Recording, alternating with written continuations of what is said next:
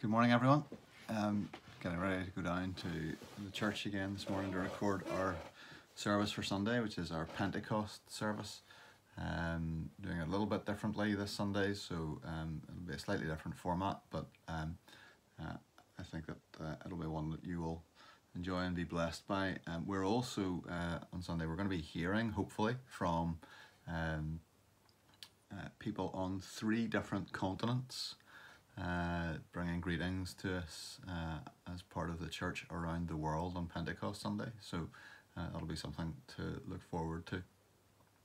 We're continuing our series uh, in the Psalms, uh, and we are uh, looking at Psalm 15 this morning. Let me read it to you. O Lord, who shall sojourn in your tent? Who shall dwell on your holy hill? He who walks blamelessly and does what is right and speaks truth in his heart, who does not slander with his tongue, does no evil to his neighbour, nor takes up a reproach against his friend, in whose eyes a vile person is despised, but who honours those who fear the Lord, who swears to his own hurt and does not change, who does not put out his money at interest and does not take a bribe against the innocent. He who does these things shall never be moved. Strange um, positioning of the Psalms, I suppose, next to each other, because in Psalm 14, we are told very clearly no one is righteous. Not one. There is no one who seeks after God. And here in Psalm 15, we're asked the question who can dwell uh, in the tent of the Lord? Who can, who can uh, set foot on his holy mountain? And the answer is only the righteous. So, if no one is righteous, and only the righteous can set foot in God's presence, then who can do that? Who can dwell in God's presence? The psalmist goes on in Psalm 15 to, to lay out the, um, the characteristics of this righteous person who can dwell in the house of the Lord. Someone who has never lied, someone who's never gossiped about uh, somebody else maliciously, somebody who's never spread nasty rumours, somebody who always condemns uh, an evil person for what they do, someone who always honours God's people, who always lifts them up, who always encourages them, who always uh, who always exalts them above themselves.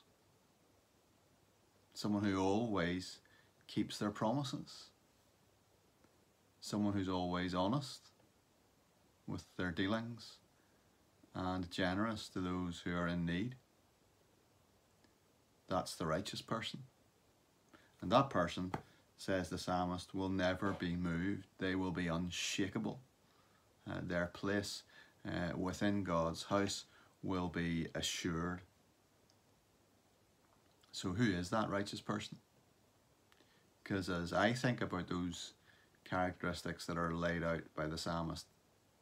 It's not me, and I dare say it's not you either. Who is this righteous person who can dwell in God's tent? Well, of course, the gospel gives us the answer to that question.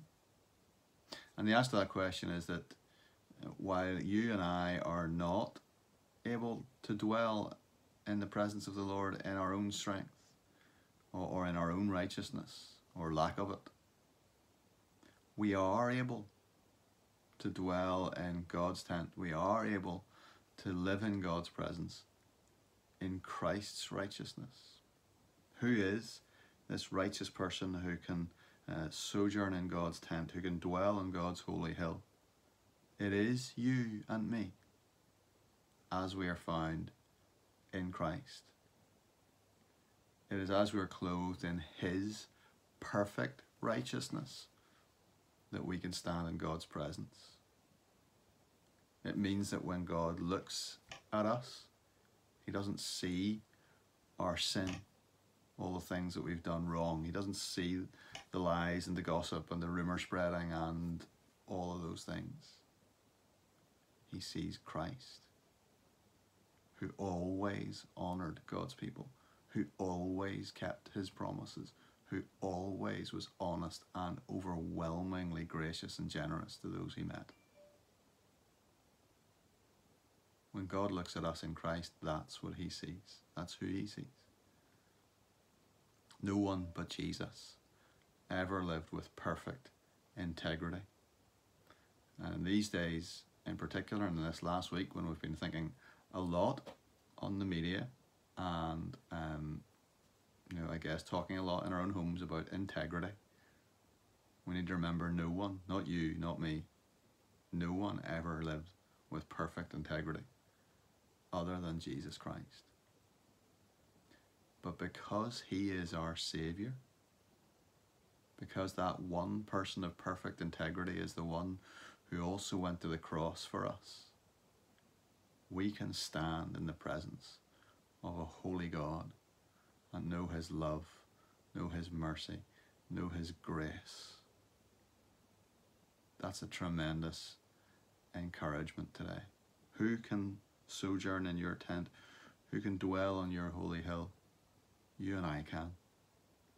You and I can in Christ. God bless. Uh, and I hope that you're able to join us on Sunday for worship. Uh, take care.